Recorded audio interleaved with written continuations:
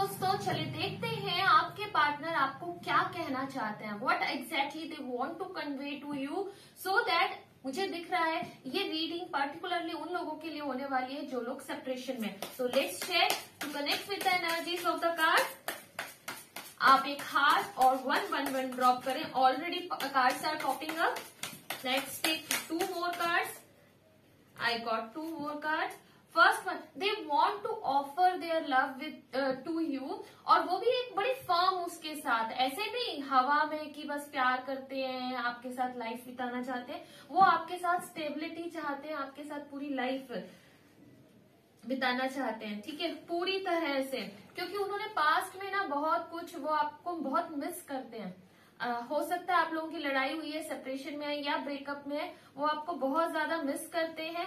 इस वजह से अब जब वो आपके पास आ रहे हैं एक बहुत स्टेबिलिटी किंग की एनर्जी के साथ आ रहे हैं, जिसमें उन्होंने ऑलरेडी डिसीज़न ले लिया है।